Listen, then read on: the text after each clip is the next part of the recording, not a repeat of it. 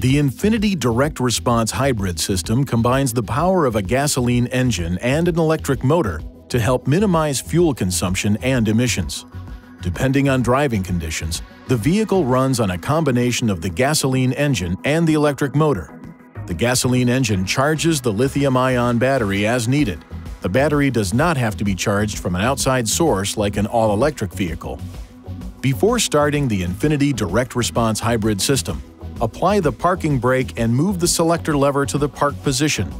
The Infiniti Direct Response Hybrid system will not operate if the selector is not in the park position. Then, step on the brake pedal and push the ignition switch to start the hybrid system. When the ready-to-drive indicator light illuminates, you may release the parking brake and begin driving the vehicle. To stop the Infiniti Direct Response hybrid system, make sure you're in a safe place to leave your vehicle. Then, step on the brake pedal and move the selector to the park position.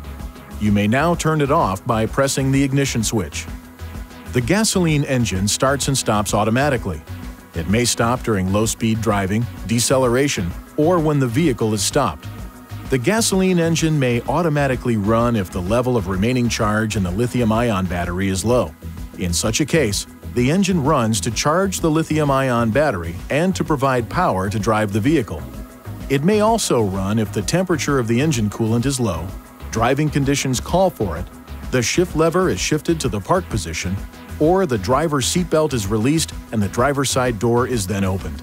Please see your owner's manual for important safety information, system limitations, and additional operating information.